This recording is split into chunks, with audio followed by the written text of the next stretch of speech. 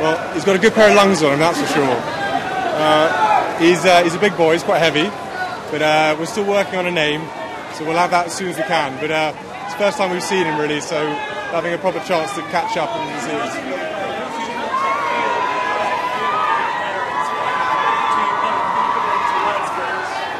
Very emotional. Yeah, it's very emotional. It's such a special time. I think any any parent, I think, will probably sort of um, know what this feeling feels like. So Very special.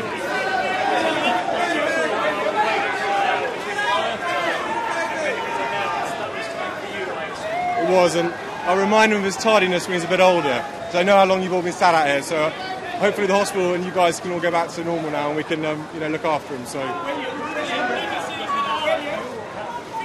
he's got her looks, thankfully. no, no, no, no. I'm not sure about that.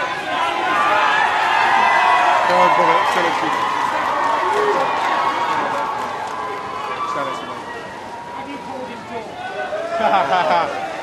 Wait and see, Peter. Wait and see. Oh, we've done that already. Yes, he's, he's done the first already.